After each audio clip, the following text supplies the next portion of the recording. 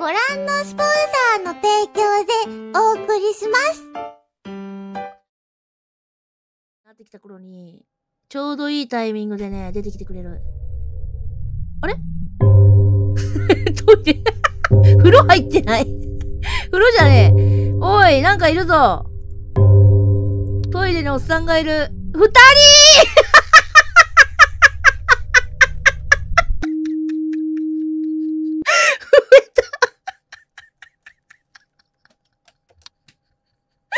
ちょ、二人いたんだけ